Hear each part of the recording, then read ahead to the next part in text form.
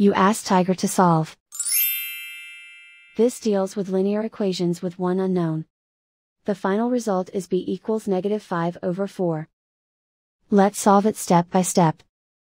Group all b terms on the left side of the equation. Add 5b to both sides. Group like terms. Simplify the arithmetic. Group like terms.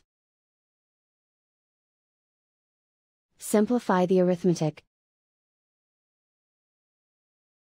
Group all constants on the right side of the equation. Subtract 12 from both sides. Simplify the arithmetic.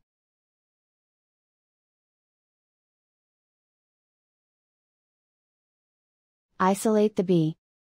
Divide both sides by 4. Simplify the fraction. And so the final result is b equals negative 5 over 4.